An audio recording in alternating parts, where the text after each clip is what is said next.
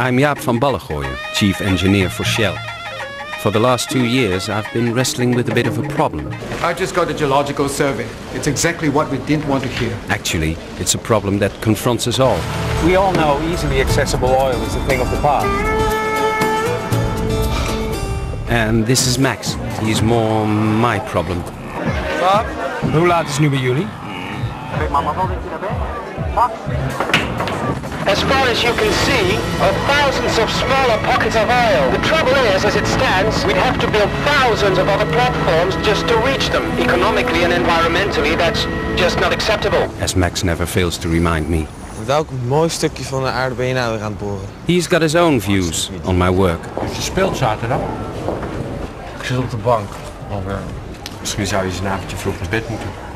Sometimes we all need to look at things from a different angle. Wat? Doe dat nog eens. I thought of calling it the bendy straw drill.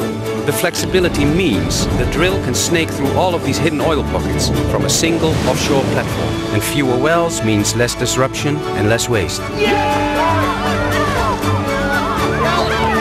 It just shows you that solutions can be found in the most unlikely places.